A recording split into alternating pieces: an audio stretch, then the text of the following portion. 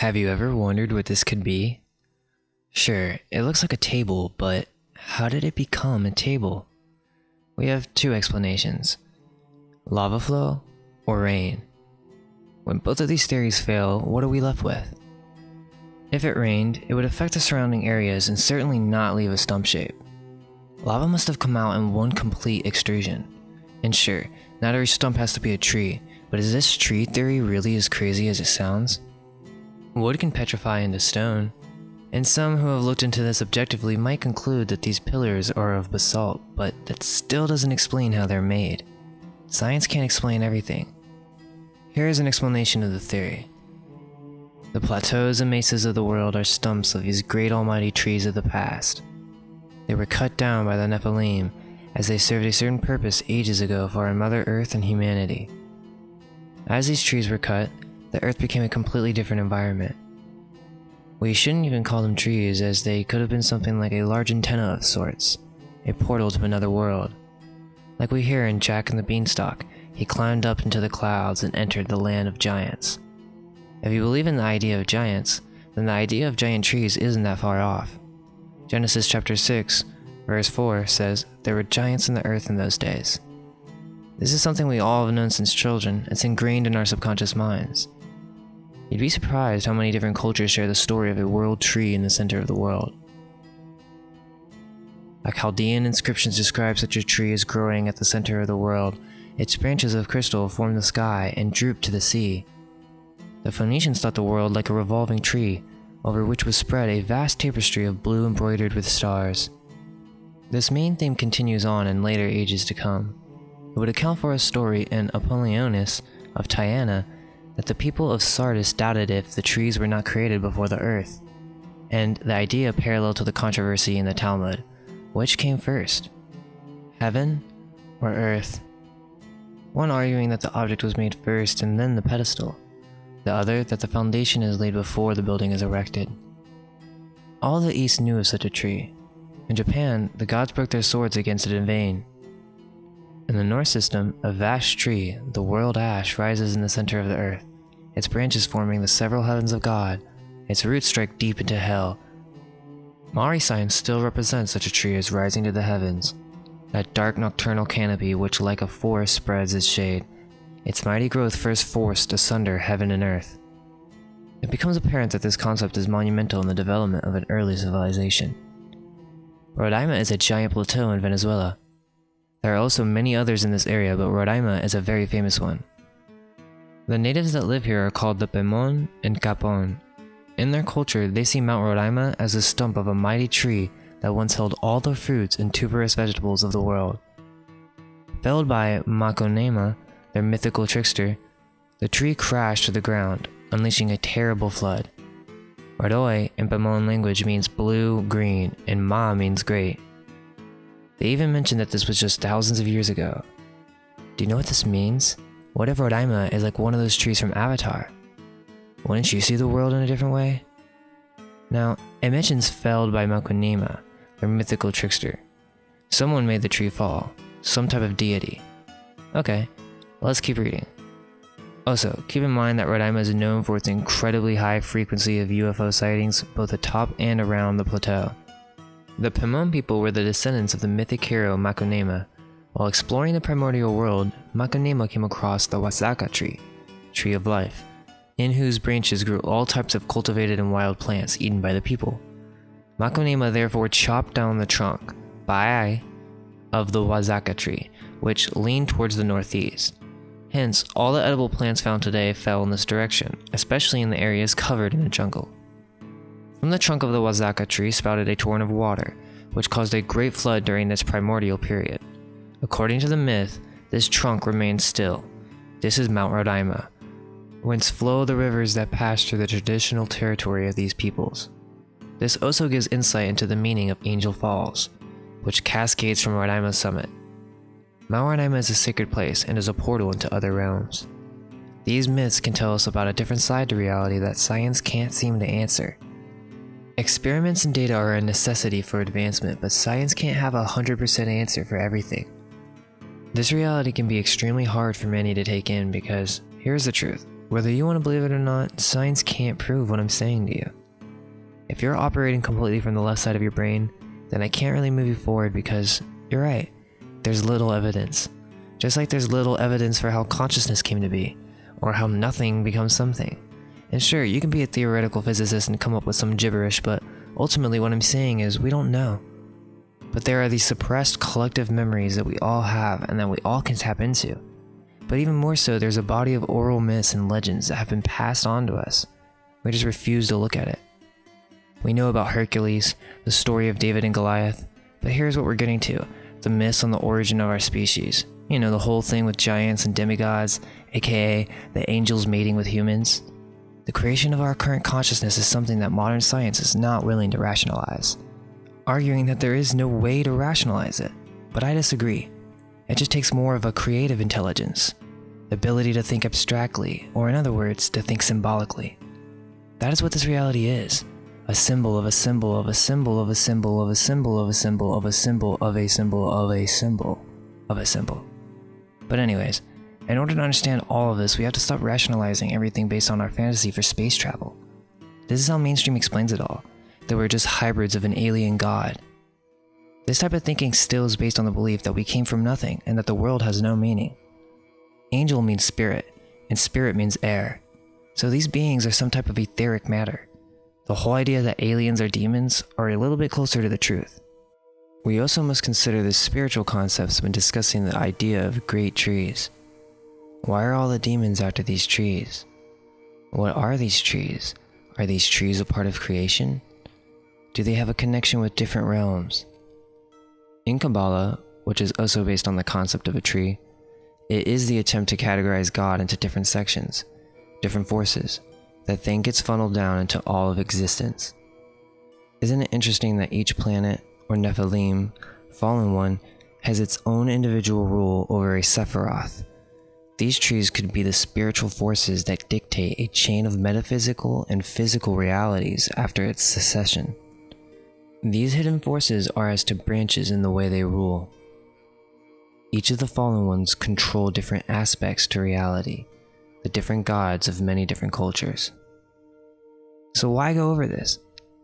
Well, in order to believe in giant trees, some type of giant deity must have cut it down, as it says in many legends.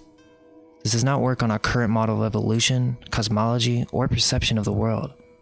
So this is one of the reasons why this idea is getting suppressed because it doesn't matter if you believe it.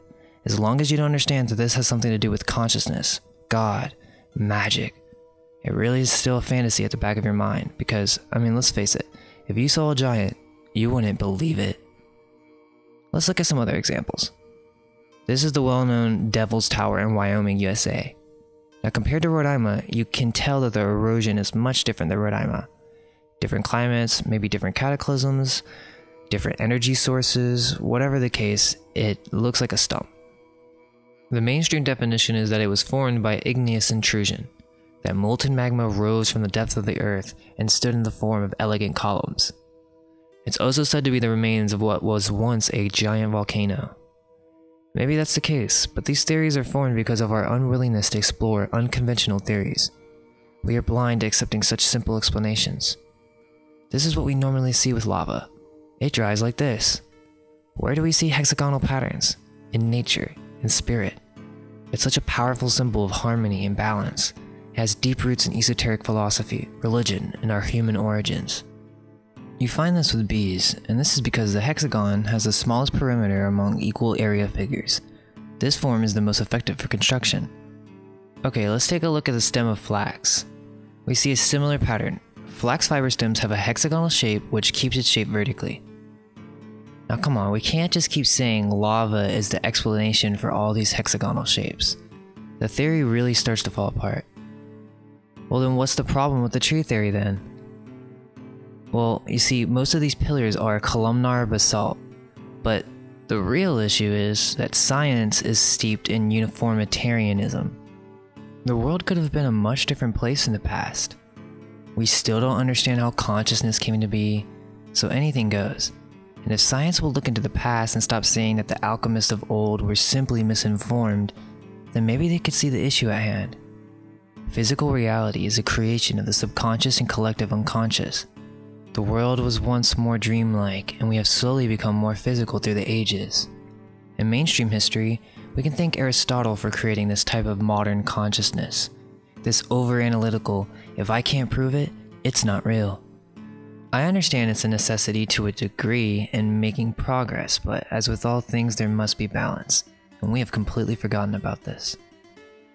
Many of you are willing to look into these matters, but we have to agree in general, many would scoff at this material. Take into consideration the myths of a flood from every culture. Let's suggest there was a worldwide flood and that the minerals that we find in what we call basalt rocks were distributed as particles of soil. The heavy floodwaters would have pushed these minerals into any submerged object. Also, consider that the minerals are being compressed by a vast body of water together with underwater volcanoes. This could solidify very quickly. The problem is, science loves to solve problems from within a box, specifically when it comes to our origins. I just think that it becomes insufficient when it comes to consciousness, the history of how our world was formed, and what this reality even is. Science won't even accept giants. Even though it becomes clear that there's some type of cover up going on with the Smithsonian Institute, especially now that they fund the History Channel to literally teach everything but history. Just another cash cow. Anyways, basically, what I'm saying is stop trying to get a 100% answer for everything. Most of these people who can't accept these ideas or respond with mocking are atheist or agnostic. So if you're willing to say, I don't know, then can we just meet at sure, I don't know how these mesas are formed, but hey, I'll keep an open mind. Okay, because now we can learn to use our eyes and let our mind attract the answer. Yes, that is possible, to a degree. Reality can speak to you, and then you can come to your own conclusions. What if in the past reality was like Avatar the movie? There was magic. We lived on the giant trees, till one day the gods became angry Giant gods came down and destroyed the great trees of the earth, desolating the landscape and leaving it barren. Ages passed and the old pillars that connected the realms had been destroyed. The earth was cut off from spirit. Daniel chapter 4, verse 10 through 15. Thus were the visions of mine head in my bed. I saw and behold a tree in the midst of the earth, and the height thereof was great the tree grew and was strong, and the height thereof reached unto the heaven, and the sight thereof to the end of the, all the earth. The leaves thereof were fair, and the fruit thereof much, and in it was a meat for all. The beast of the field had shadow under it, and the fowls of the heaven dwelt in the bowels thereof, and all flesh was fed of it. I saw in the visions of my head upon my bed, and behold, a watcher and an holy one came down from heaven he cried aloud and said thus Hew down the tree, and cut off his branches, shake off his leaves, and scatter his fruit. Let the beasts get away from under it, and the fowls from his branches. Nevertheless, leave the stump of his roots in the earth, even with a band of iron and brass, and the tender grass of the field, and let it be wet with the dew of heaven, and let his portion be with the beast in the grass of the earth. So in the Bible, Nebuchadnezzar is retelling his dream, and a watcher, or an angel, came and cut down the tree, or at least wanted to, to leave the stump in the earth. Now, interestingly, in the book of Enoch, one of the many scriptures not included in the Bible, has something very interesting to say about giant trees. Chapter 66, verse 2 through 3. Now then shall the angels labor at the trees, but when they proceed to do this, I will put my hand upon it and preserve it. So the angels are striving at the trees, and God wants to continue to preserve it, maybe through some event that petrified the stump immediately, keeping the roots intact. The seed of life shall arise from it, and a change shall take place, that the dry land may not be left empty. I will establish thy seed before me forever and ever, and thy seed of those who dwell with thee on the surface of the earth. It shall be blessed and multiplied in the presence of the earth, in the name of the Lord. It's the seed of these giant trees that give life to the barren lands, the connection with all things. Chapter 82 A Vision, verse 5 through 6. And falling to the earth, I saw likewise the earth absorbed by a great abyss, and mountains suspended over mountains. Hills were sinking upon hills. Lofty trees were gliding off from their trunks, and were in the act of being projected and of sinking into the abyss. If we combine both verses, we start to realize that the angels, who were after the trees, had something to do with the sinking of these great trees, or as it says, gliding off their trunks. They were projected and landed into the abyss or hell or even the waters. The word Nephilim is now being portrayed by History Channel as meaning aliens. I want to make it very clear that the way that they're presenting it is complete BS. Aliens are metaphysical, not terrestrial beings from other rocks in the sky. If anything, they may be other physical beings from inside of our Earth, but that can be for another video. Sitchin assumed the word Nephilim comes from the Hebrew word Nephal, which usually means to fall, to come down, creating the translation, to come down from above. The form Nephilim can't mean fallen ones, the spelling would be Nephulim. Likewise, Nephilim does not mean those who fall, those who fall away. That would be Nophilim. The only way in Hebrew to get Nephilim from Nephal, by the rules of Hebrew morphology, word formation, would be to presume a noun spelled Nephil and then pluralize it. I say presume since this noun does not exist in biblical Hebrew. In Aramaic, the noun Nephil does exist. It means giant, making it easy to see why the Septuagint, the ancient Greek translation of the Hebrew Bible, translated Nephilim as gigantus, giant. Sitchin wants to argue the term Nephilim means those who came down from heaven, so he can make the Nephilim sound like ancient astronauts. Not to mention, he low key was working for the CIA. So, there were giants in the past. If you haven't seen my other video on giants, check it out, as there's a lot to cover, and I can't really fit it all into this video. Also, it gets into cosmology and our origins. Yes, we have the Titans, the great giants that had to do with the creation of our realm, the Archons if you want to get metaphysical. But there's also the concept that we humans were larger in the past as well, and have slowly become smaller in size. H.P. Blavatsky goes over this.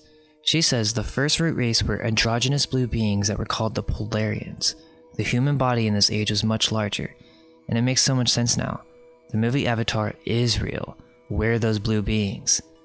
That's the best way we can imagine it right now. Although, like I said, that these pillars could be beyond trees as they're connecting this plane of reality to other planes or dimensions. These trees could also be energy devices for the Earth. Are the crystal caves the remnants of these ancient root systems? This is because crystals form under these antennae that are charged with immense energy. This is where all the gems of the world come from. Caves that go within the roots of these ancient trees. It makes sense now why crystals have a metaphysical nature. Everything is connected. The largest tree in the world is called Hyperion, interestingly enough, and underneath, of course, there's a crystal cave. Now, maybe when we look, we can see with different eyes. And who knows, maybe we can now make new discoveries that lead us to a new understanding of the world. How do you think the mesas of the world were formed? Is it aliens? How about the Nephilim, giants, or the fallen ones? Or is it giant trees? Let go of everything you think to be true. Relax the mind and ask the question Do I truly understand what this reality is?